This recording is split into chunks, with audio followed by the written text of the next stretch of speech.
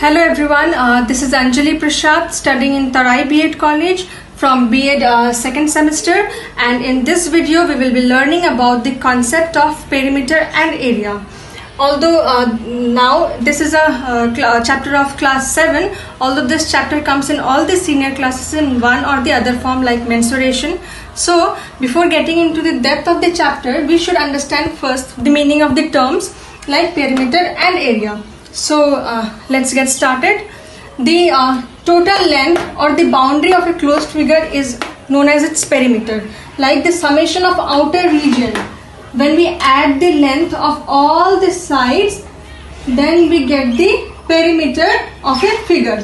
Now moving on like uh, perimeter of regular polygons. What is the meaning of polygons? It means any closed figure and regular means all sides will be equal. So when we find perimeter of regular polygons it's very simple. We just need to add the lengths of all the sides. For example the formula will be length of one side into number of side. For example if uh, for example if this is a square if the length of one side of a square is a then the perimeter will be 4 into a. That is summation of a plus a plus a plus a. So this is perimeter of regular polygons. Now we will be learning perimeter of irregular polygons. Irregular means the length of the sides will not be equal to each other. For example,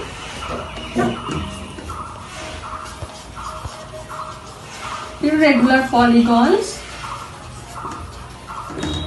For example, this is a rectangle and if this is L, this is L, this is B and this is B. Now when we have to find the perimeter of this uh, irregular polygon then we have to add L plus L plus B plus B. Then it will be 2 into L plus B. This will be the formula. So we understood the meaning of uh, uh, polygons. We understood how to find the perimeter of regular polygons we, we also understood the uh, how to find the perimeter of irregular polygons. Now, here one more example like parallelogram. Parallelogram is just like a rectangle only. The opposite sides are equal to each other and here in rectangle it forms a 90 degree but only difference between rectangle and parallelogram is that 90 degree angle is not formed here so the perimeter of parallelogram will also be 2 into L plus B. So the concept of perimeter is uh, clear. Now we will move, move to the concept of area. What is the meaning of area?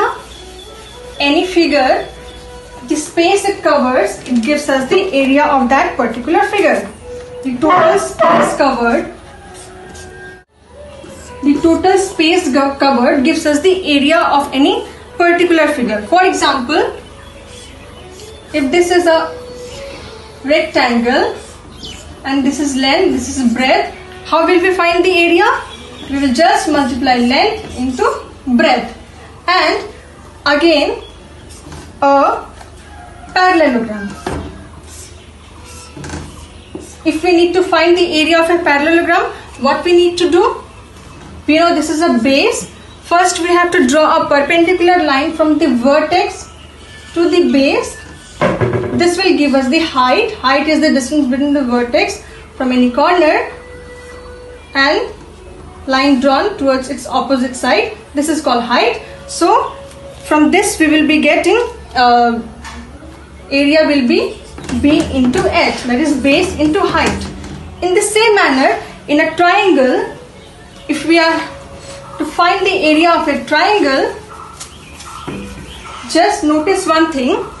When we divide the parallelogram parallelogram into two two parts it gives us a triangle. So if the perimeter of a parallelogram is b into h then of course the perimeter uh, sorry of course the uh, if the area of parallelogram is base into height then of course the area of triangle will be half into base into height.